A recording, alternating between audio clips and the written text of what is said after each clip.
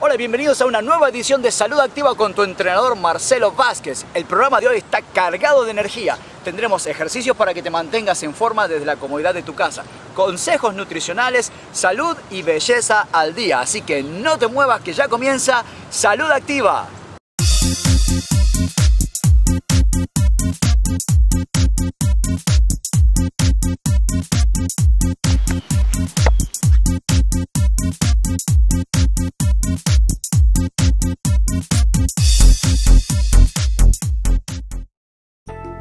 Y bienvenidos a, un nuevo episodio de Salud Activa, donde tu salud se reactiva. Yo soy tu entrenador Marcelo y hoy me acompaña mi amiga Paola. Paola, ¿cómo estás? Hola, ¿cómo estás? Muy bien, gracias por invitarme. Bueno, Paola es instructora de fitness, yo ya la conozco, pero para la gente que no te conoce, Paola, ¿por qué no le comentas un poquito de dónde sos, qué es lo que haces, qué tipo de clases das y dónde? Mm, pues claro, con gusto. Mira, yo soy una instructora de Zumba, tengo otras certificaciones en fitness, pero como típica latina me gusta bailar. Entonces es una manera muy, muy padrísima de hacer ejercicio. Bailando, yendo con amigas al gimnasio y sudando un rico, ¿no? quemando calorías. Quemando calorías. Pero Paola, ¿de dónde sos? ¿Cuándo empezaste a hacer este tipo de clases? Mira, yo la verdad empecé con baile en jazz en México. Yo soy de Torreón, Coahuila, de México. Y allí empecé a tomar clases de jazz y tomar clases de hip hop, así este, desde chiquita, desde que tenía los 6 años, 8 años. Empecé con baile, siempre he tenido eso muy inculcado. Y encontré Zumba cuando llegué aquí a los Estados Unidos en el 2005. Que, eh, fue un furor. Ah, claro. Este, Zumba existe desde el 2001. Entonces, este, me encontré con Zumba en el gimnasio y dije, esto es mi, mi workout. Esta es la manera en cómo yo me voy a mantener activa y haciendo ejercicio en el gimnasio. Mi maestra de Zumba me vio y me dijo, bueno, tienes el ritmo, tienes la capacidad, certifícate. como latina, ¿cómo no va a tener el ritmo, verdad? y entonces, bueno, a mí me gusta este tipo de baile, ¿por qué? Porque es, es una forma de que la gente, como dijiste vos, se divierte y cualquier persona lo puede hacer. Por ejemplo, la persona que nunca hizo ejercicios en su vida, la persona que está un poquito pasada de peso y no puede comenzar a hacer un cardio muy activo, hey, bailar con movimientos muy básicos, pueden empezar hasta que se pongan un poco más de actividad y después ya comienzan a hacer algo más em, con más alta intensidad. Una, una, rutina de ejercicios con un entrenador, claro que sí. Entonces dijimos que sos instructora de baile, ¿qué otro tipo de clases das y dónde? Yo doy clases hasta este momento de Zumba en LA Fitness Duluth Bistro Industrial, LA Fitness Holcomb Bridge, salida 7 de la 400 y Jimmy Carter, la que está en um, Peachtree Corners. Ahí doy clases los jueves, los viernes y los sábados. Mi horario lo pueden ver en mi website y también en la website de LA Fitness. Estoy bajo el nombre de Paola en Zumba. Ahí está. Entonces, si quieren probar las clases de Paola, ya saben dónde ir. Va a aparecer en pantalla el website de Paola para probar sus clases de baile. Ok, Paola, una pregunta que siempre la gente nos hace. Eh, las mamás tienen familia y lamentablemente suben de peso. Yo sé que vos acabas de tener un bebé, felicitaciones por eso, pero ¿por qué no contás un poquito tu historia? ¿Subiste de peso o te mantuviste en el mismo peso? Ay, no, Marcelo, déjame te digo una cosa. Cuando yo me embaracé, era la mujer más feliz del mundo que empecé a comer como loca. Dejé que los este, antojos me llevaran. Y como verás tú, este, yo pensaba, siendo activa, puedo comer lo que yo quiera. Soy una mujer fuerte, una mujer joven y estaba muy equivocada. Este, subí 68 libras. 68 libras. ¡Wow! ¿Y cómo hiciste para bajar todas esas libras y tener este cuerpo que, que tenés ahora? Bueno, aún, gracias, aún estoy en, en proceso de trabajo. Eh, lo primordial es la educación de cómo te alimentas. Tiene que ser una alimentación totalmente limpia. Tienes que estar consciente de lo que te metes a, a la boca y obviamente ir con una persona que sepa de nutrición para que te pueda calcular tu altura, tu peso, tu edad y en base a eso saber cuántas calorías tú necesitas poner de por día y asimismo escoger de una manera inteligente los alimentos. Debes de tener la nutrición adecuada, frutas, verduras, proteínas, granos y hay gente que hasta se vuelve vegetariana y aprende cómo obtener las proteínas de los mismos granos. Yo siempre digo que es una buena combinación de ejercicios y alimentación saludable. Pero digamos que una persona no tiene dinero de contratar a un nutricionista o personas que se dedican a preparar eh, planes alimenticios. Digamos que desde la, desde la co- comodidad de la casa y solamente creando hábitos saludables de la comodidad de la casa. Mira, ¿Qué puedes sí. recomendar, por ejemplo, a la mañana en el desayuno? ¿Como qué desayuno eh, consumías? Mira, Por ejemplo. bueno, antes de cuando estaba gordita con, con- con mi bebé, yo consumía lo que se me antojaba, que es súper mal. La primera cosa que tú haces en la mañana, levantarte, por favor, toma agua. Eso activa tus órganos. Y de esa manera, pues tú también ya después de media hora puedes pensar en tu desayuno. Tu desayuno puede ser algo con proteína, que puede ser un huevo tibio, un huevo duro o un omelette. Este, le puedes agregar, si quieres, este, algún tipo de, de vegetal, una espinaca, para hacerlo diferente con tu tomatito. O hasta puedes comer tu yogur totalmente este, saludable. eh, puede ser low fat o normal, lo que tú desees. Siempre cuando hagas tu, lista para ir al supermercado, haz la lista antes de ir y siempre trata de mantener tu lista limpia en el aspecto de que cero tipo de comida chatarra. A veces es la más barata, pero es la más cara, porque al final de cuentas vas a tener que ir al doctor por algún tipo de problema de eh, presión alta o diabetes. Yo siempre digo, ¿no? Que la eh, comida chatarra, una de ellas es la fritura. La fritura que pasa tapa las arterias. Cuando las arterias se empiezan a tapar, la circulación de la sangre tiene que hacer más presión. Entonces eso no es saludable. El ejercicio hace que las arterias se limpien. O sea que buena alimentación y ejercicio van de la mano. Claro. Bueno, yo sé que la alimentación es primordial, siempre digo 70-30. 70% es lo que uno come y 30% son los ejercicios. Claro. En el bloque que viene, Paola nos va a dar una demostración de ejercicios, cómo hacerlo desde la comodidad de la casa y con su bebé, porque esa es una de las cosas que vos te dedicas también, enseñarle a mamás cómo pueden hacer ejercicios con su bebé, ¿verdad? Claro que sí, amigas. Miren, ah, una de las maneras, en lugar de poner como pretexto, no puedo porque mi bebé está dormido, no puedo porque mi bebé está pequeño, claro que sí se puede. Pónganlo como una inspiración. Sus bebés van a imitar en un momento todo lo que tú haces y tú quieres a tu bebé que sea sano y que sea activo. Porque es muy, muy, muy triste ver que ahora los niños tengan diabetes tipo 2, en el cual diabetes tipo 2, en el cual, bueno, la alimentación y la inactividad tienen mucho que ver. Entonces, uno como padre desea lo mejor de nuestros hijos y nosotros tenemos que poner el ejemplo. Y yo te voy a enseñar cómo hacerlo de una manera fácil, sin necesidad de ir al gimnasio y cuando a lo mejor tus niños estén dormidos o despiertos. Ahí está, lo dijo Paola, que mejor que una persona con experiencia, con bebé y haciendo ejercicio de la comodidad de la casa. Así que no se vayan, que ya volvemos con más salud activa y con un segmento de Paola haciendo una demostración de cómo hacer ejercicio de la casa con su bebé.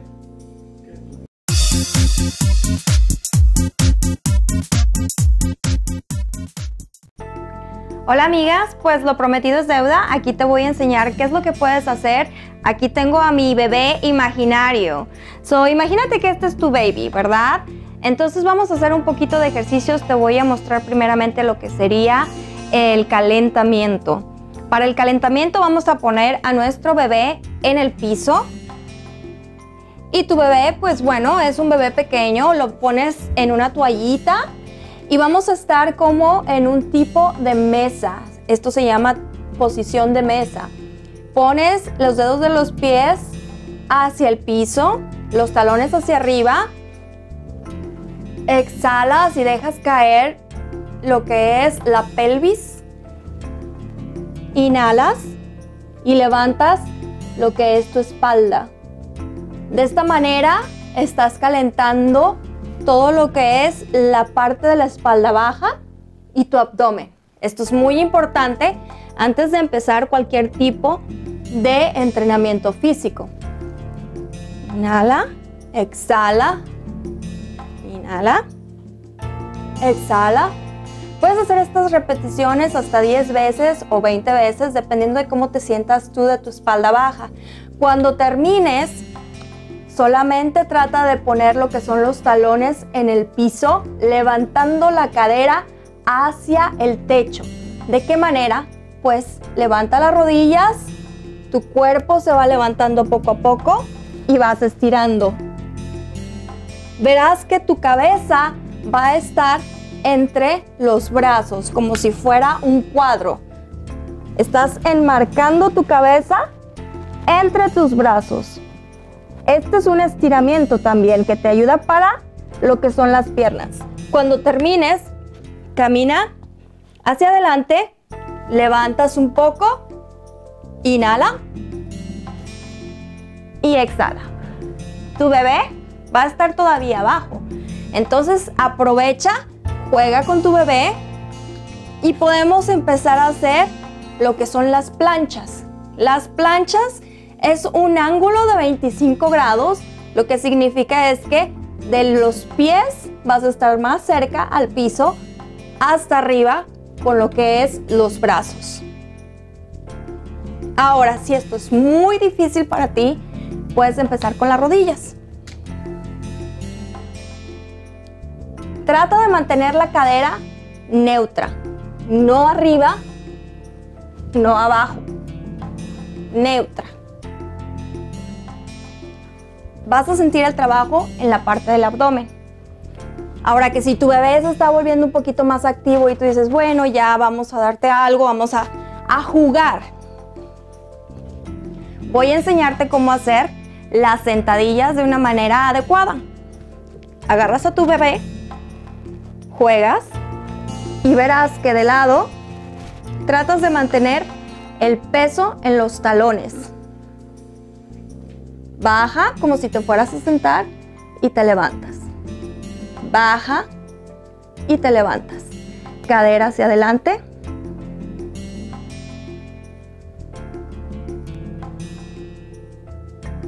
Este tipo de repeticiones lo puedes hacer 15 veces. Vas a sentir que quema un poquito en los cuádriceps y atrás.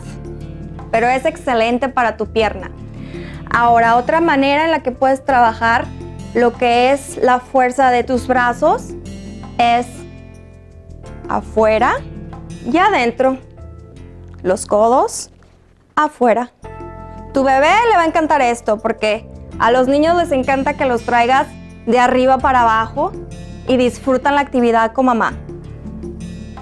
Como se vería de lado.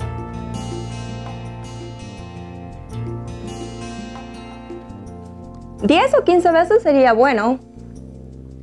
Cuando termines, pues bueno, puedes volver al piso estar con tu bebé. Abres un poco las piernas. Y tu bebé puede estar acostado o sentando, sentado, viéndote hacia ti. Y puedes tratar de estirar a tu bebé, de tratar de alcanzar a tu bebé. Esto te ayuda para el estiramiento de tus piernas.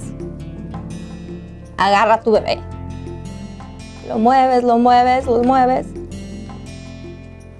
Mueve tu bebé para acá. Juega con tu baby. Al centro. Al otro lado.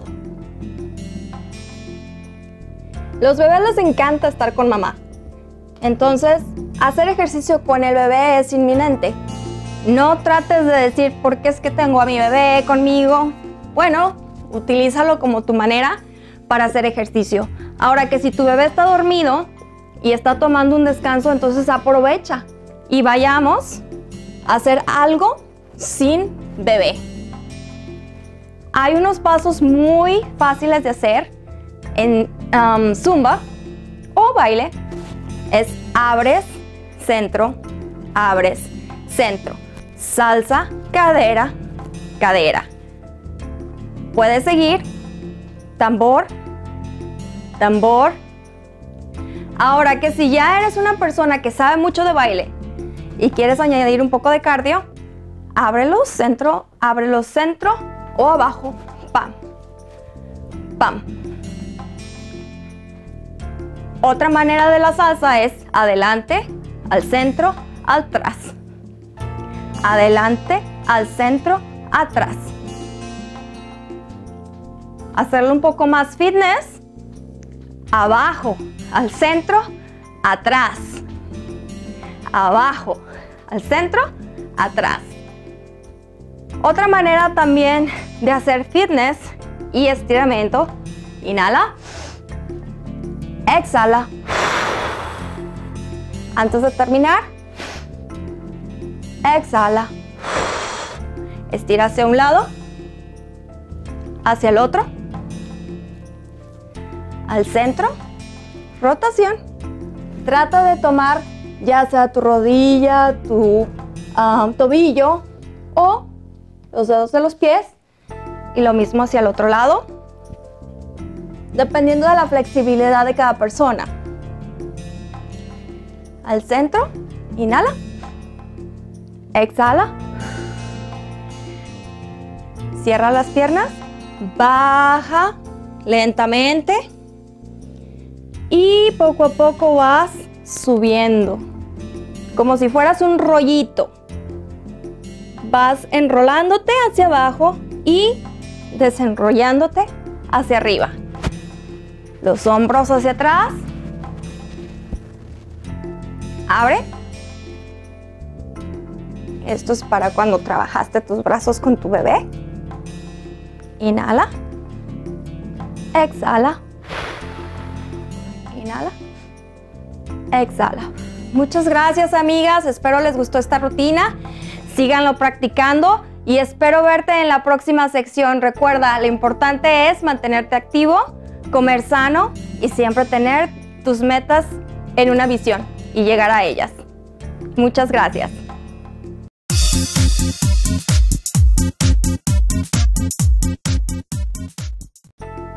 Hola, soy Rebeca, tu maquilladora, y hoy te voy a decir cómo, cómo pintar las cejas con nada más un lápiz sin otras cosas y para que se parezca muy natural.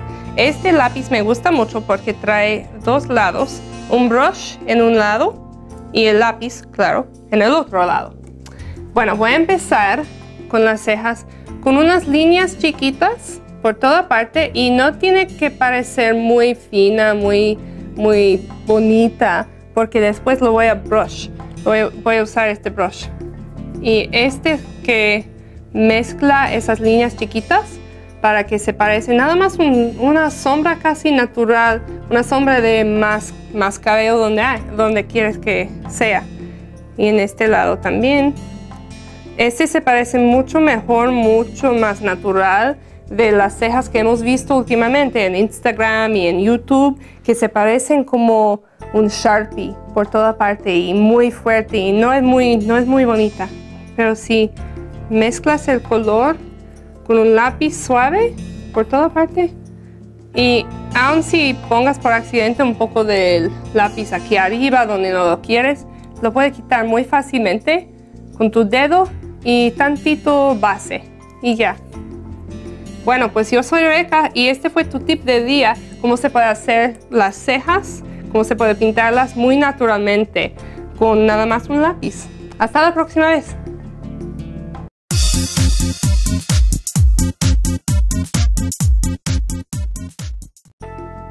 Bueno, Women, para ir cerrando el episodio del día de hoy, nunca podemos irnos sin responder los emails que nos llegan a, nuestra cuenta de Facebook. Ya saben que si quieren que respondamos preguntas en el show, nos dejan saber en la cuenta de Facebook acerca de nutrición, ejercicios, belleza, lo que quieran saber, lo vamos a responder en el show. Hoy me acompaña mi amiga Paola, así que Paola, vamos a responderle a Silvia que me escribe de Chile. Perfecto. Silvia quiere saber, yo soy corredora, salgo a correr a diario para mantenerme en forma pero quiero tonificar la masa muscular. ¿Debería dejar de correr? Hola, ¿qué le decimos a Silvia? Mira, yo la verdad no dejaría de correr. Yo lo que añadiría sería un trabajo con pesas. ¿Tú qué piensas, Marcelo? Ahí está. Sí, yo también lo mismo. Para mí, el cardio, la, salida a correr para quemar las calorías Indispensable. y las pesitas para tonificar la masa muscular. O sea que los dos es un buen complemento. Y siempre hablando, no, no, no tenemos que repetir lo que la buena alimentación es un 70% del éxito. Si el, segmento, si se perdieron el, segmento número uno, vuelvan otra vez a mirar el segmento número uno, donde Paola habla de la nutrición. ¿ok? Paola, ¿vos salís a correr? Sí, sí, trato de salir a correr. Hago mucho cardio con mi zumba.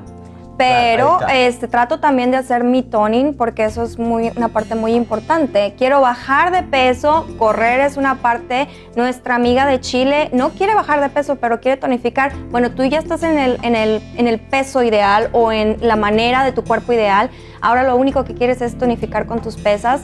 So, un día haces tu, tu, entrenamiento de correr o tu cardio y al día siguiente tus pesas. Y descansas el cardio para que tus músculos se puedan recuperar.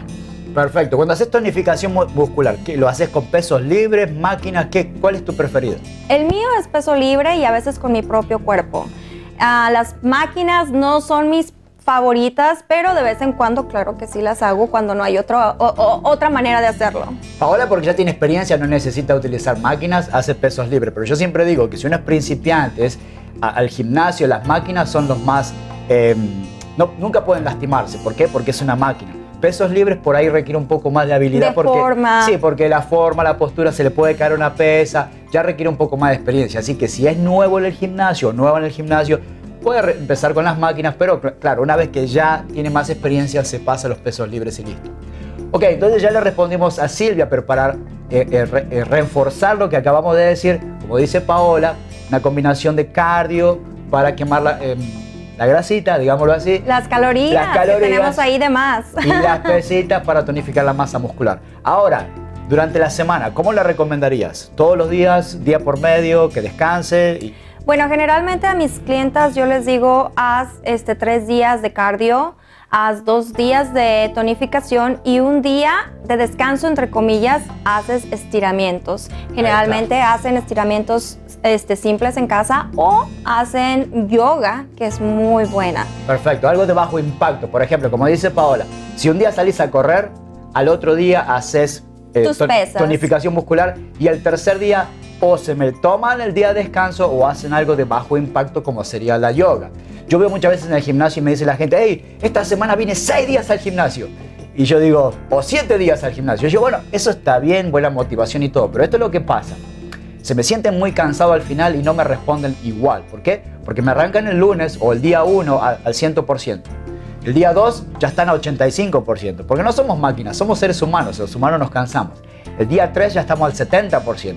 El cuarto, 60% y así sucesivamente. Entonces, el último día, en vez de empujar a 100%, están como al 35%. Entonces es bueno que se tomen un descanso en el medio. ¿Por qué? Porque en ese descanso el cuerpo se recupera y entonces el próximo día ya están al 100% con la energía otra vez. Entonces siempre le pregunto, ¿preferís trabajar al 100% o al 35% porque me viniste todos los días? ¿Verdad? Exactamente. Ese, es, es- es el opcio- es opcional, pero prueben tomarse un descanso, como dice Paola, y van a ver que el próximo día van a estar al 100% otra vez. Paola, antes de irnos, las repeticiones para to- tonificar la masa muscular, ¿de, de cuántas repeticiones haces los ejercicios? Yo generalmente hago cuatro repeticiones porque es eh, lo normal entre 10 o 20 repeticiones en cuatro sets. O sea, cuatro sets, si haces este, tu bicep, son 20 veces y cuatro sets del mismo. Eso es lo que generalmente hago para tener como unos 30 a 45 minutos de, de trabajo en cada músculo. Puede ser eh, que trabajes tus músculos pequeños o tus músculos grandes que están en las piernas. Eso ya depende mucho de, de- de ti. Puedes tomar recursos de la website de Marcelo, de mi website, tomar consejos si es que acaso vas a un gimnasio de algún entrenador profesional para que no te lastimes. Pero como dice Marcelo, también una opción muy importante es de que si no tienes a alguien que te guíe, si lo has visto en YouTube, si has visto instrucciones en, em, online, puedes utilizar las máquinas y de esa manera pues no hay pierde, no te puedes lastimar.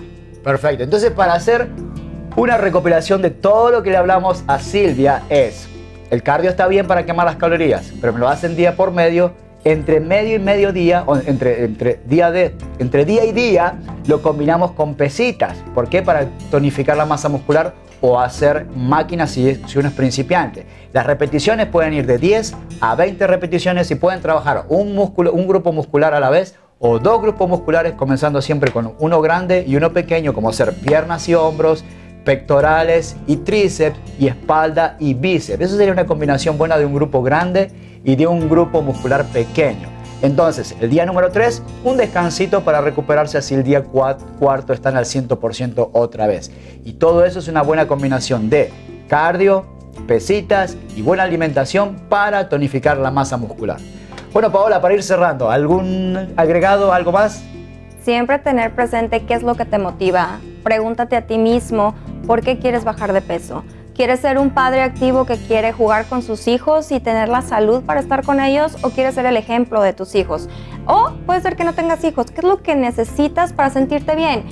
Quiero llegar a ponerme un traje de baño de dos piezas y enseñar mis abdómenes. ¿Tú sabes? Eso, eso es algo que puede sonar algo diferente o algo superficial, pero si ese es tu sueño, ¿por qué no te agarras de ese sueño, lo mantienes en tu mente y lo sigues trabajando? Las cosas no pasan de la noche a la, maña- a la mañana. Tiene uno que sacrificar con sudor, trabajarlo y tomar en cuenta que lo que uno se mete a la boca se refleja en el cuerpo. Ahí está, es un balance. Calorías entran y calorías tienen que salir de alguna forma, ¿ok? Bueno, muy bien, gracias Paola por estar con nosotros Gracias el día de hoy. Y ustedes gracias y no se pierdan el próximo episodio de Salud Activa donde tu salud se reactiva y siempre me gusta terminar diciendo, cuida tu cuerpo hoy y tu cuerpo te cuidará en el futuro. Nos vemos en la próxima. Chao, chao. Vale, bye.